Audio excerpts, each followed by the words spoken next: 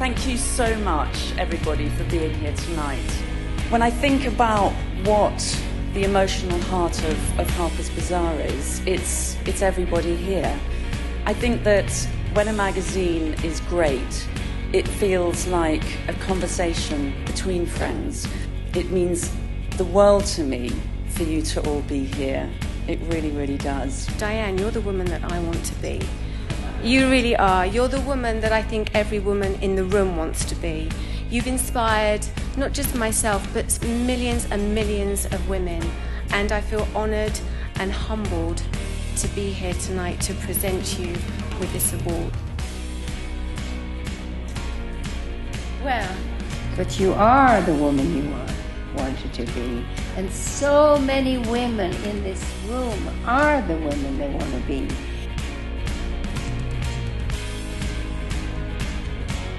Be a Woman of the Year is unbelievably humbling. So I'm super grateful. I'm uh, totally surprised and really, really flattered. Thank you so much. What an incredible honor, actually, to be here tonight. Mrs. B has been one of my huge inspirations since I started, and it's just a very magical night. I mean, it's wonderful. What she's done in 10 years is amazing.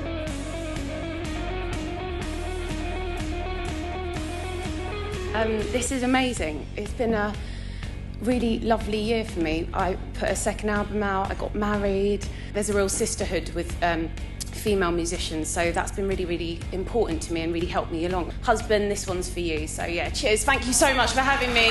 It's so nice to present an award to someone you actually really like and really like am a fan, a big fan of. I'm really lucky tonight because I'm having to give this award to someone who not only has changed the art world completely for everybody, but they've changed the art world for women.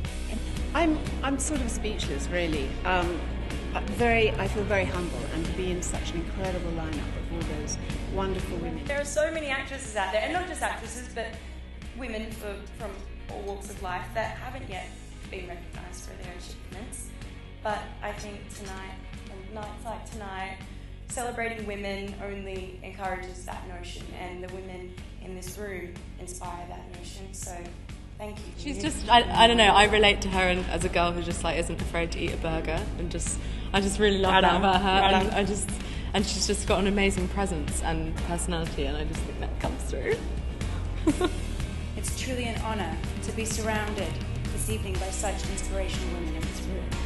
So I'd like to dedicate this award to all the great women I have met and to have touched my heart throughout my life and to have helped me on my way. I wouldn't be here without you. Like she's my muse, she's my friend, she's everything, and so it's obviously an honor for me to be here, but more of that, like just being with her and supporting her in this award.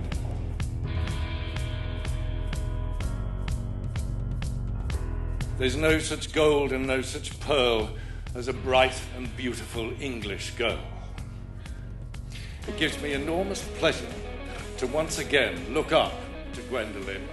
But if someone like me, playing Brienne of Tarth, a character who we love because of the choices she makes rather than how she looks, then things are changing and I am happy and I am proud.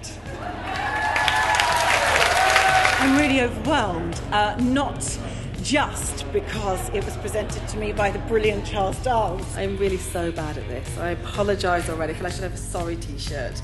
Um, I want to thank, thank my amazing team of women and also my amazing team of men. Sarah is a beacon of hope for everyone. You know, she hasn't sacrificed niceness for success.